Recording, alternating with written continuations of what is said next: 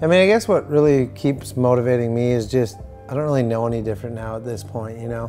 Even though I had a little bit later of a start with wakeboarding at the age of 15, it's, um, it's pretty much ever since that first time I stepped on the board, it was like my passion. It's all I wanted to do. And, you know, and that, that's what I did. I, you know, I set a goal to do this for a living. Like this is all I wanted to do. Age to me is just a number. It really is. That means nothing to me at all. So I'm going to continue to come back for more as long as I, you know, mentally want it still.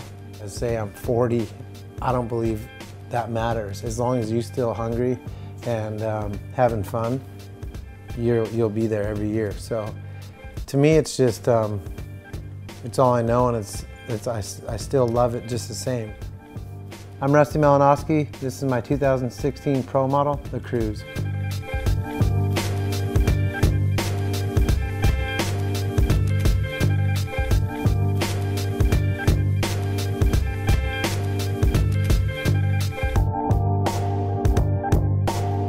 I'd say the favorite part about the Kruz is it just feels so light and responsive. It's um, releases off the wake a lot differently, which like makes the board feel smaller even though it's still a big 144. So it, your your landings are still stable and, and good, but the weight of the board is so light. So it's just a different feel that I've for a lot of years never had on a wakeboard and just kind of refreshing.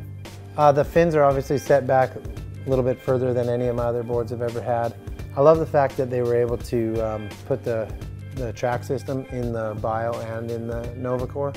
That's a, a sick feature. I never have ever rode a, a, board without the track system ever since we started doing that. And um, I noticed right away it just made the board feel stiffer and um, kind of stronger. It never really got um, soft on you.